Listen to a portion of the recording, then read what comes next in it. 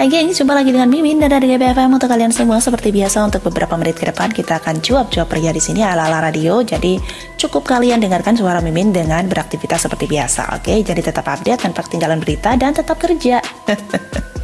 Oke, kali ini ada berita mengenai Susi Pujiastuti lagi. Nah, berlanjut dari kemarin ya, Mimin sudah mengatakan ada kemungkinan bahwa Menteri Susi Pujiastuti ya menurut uh, ya gebat-gebor di luar sana mengatakan bahwa Susi Pujiastuti bakal dimasukkan ke BUMN juga menyusul Ahok. Nah, kali ini ada prediksi yang mengatakan bahwa Susi Pujiastuti diproyeksikan bakal jadi bos Pelindo Gengs, Menteri Badan Usaha milik negara Erick Thohir bakal kembali membuat gebrakan baru ya setelah menunjuk Basuki Cahayapurnama alias Ahok jadi komisaris utama Pertamina. Beberapa orang penting lain masuk radar untuk ditempatkan di perusahaan-perusahaan plat merah tersebut. Nah, nih ya, sebelum lanjut, Mimin garis bawah di sini bahwa berita Mimin ambil dari suara.com, oke? Okay? Buat kalian yang mungkin penasaran, uh, bakal Mimin tulis di description box ya sumbernya. Jadi ini bukan opini, melainkan sumber berita terpercaya. Oke, okay, lanjut. Dua nama yang santer disebut masuk radar Erik ialah mantan Menteri Kelautan dan Perikanan Susi Puji Astuti dan juga mantan Menteri Energi dan Sumber Daya Mineral ESDM Ignatius Jonan. Oke. Okay.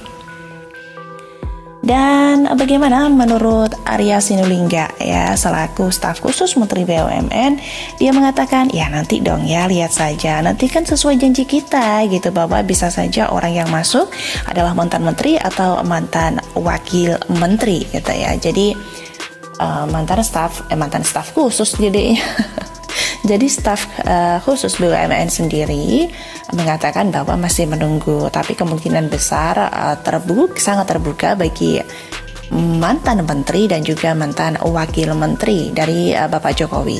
Jika sudah disinggung-singgung seperti ini, kayaknya kemungkinan besar menjadi ya, gengs. Tapi kan kemarin belum ditentukan di mana. Dan ini um, ada ya, ada selentingan-selentingan lagi yang mengatakan bahwa mungkin Ibu Susi Puji Astuti bakal masuk ke Pelindo, mungkin ya. Atau masih ada Freeport di sana gimana menurut kalian? Freeport juga masih kosong, ya. Dan eh, lihat aja ya beberapa lagi yang lain tunggu saja tutur dia lagi. Dan menurut Arya, Menteri Erick Thohir tak memaksa tokoh-tokoh yang mempunyai kompetensi untuk bekerja di Kementerian BUMN bila tak berminat gitu ya. Jadi uh, di garis bawahi juga, lagi-lagi di garis bawahi ya memang perlu ya. Di mana Arya mengatakan uh, seolah-olah berteka-teki gitu ya Hmm, tidak, tidak, tidak memaksa tokoh-tokoh yang memang eh, ditunjuk atau diminta untuk menjadi uh, bagian dari BUMN untuk bekerja di BUMN. Jadi mungkin kalaupun Menteri Susi ataupun Menteri Jonan ya, mantan Menteri lebih tepatnya ditunjuk kemudian mereka tidak bersedia ya mm, Menteri Erick Thohir tidak bisa memaksa demikian mungkin ya.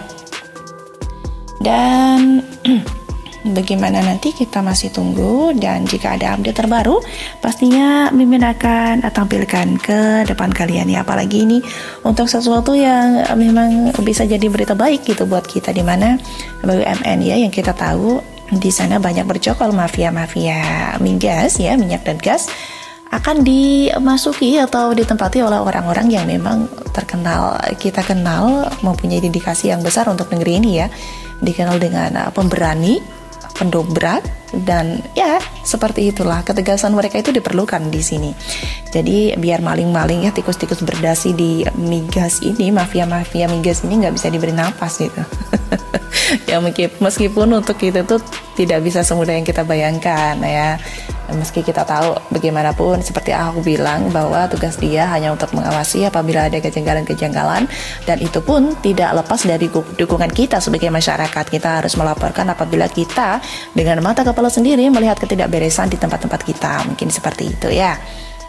Dan untuk uh, Ahok sendiri seperti tadi Mimin bilang hanyalah untuk mengawasi. Jadi mungkin penentuan atau mungkin keputusan akhir tetap di direksi utama gitu. Ya mungkin ke Bapak Erick Thohir lagi ya ya kita doakan aja ya siapa pun nanti yang ditempatkan entah itu uh, Ibu Susi Puji, Puji Astuti ataupun Bapak Johan ataupun yang lainnya bisa benar-benar bekerja dengan baik di uh, tempat-tempat uh, yang memang diposisikan untuk mereka gitu ya di BUMN itu sendiri. Oke okay, see you di next information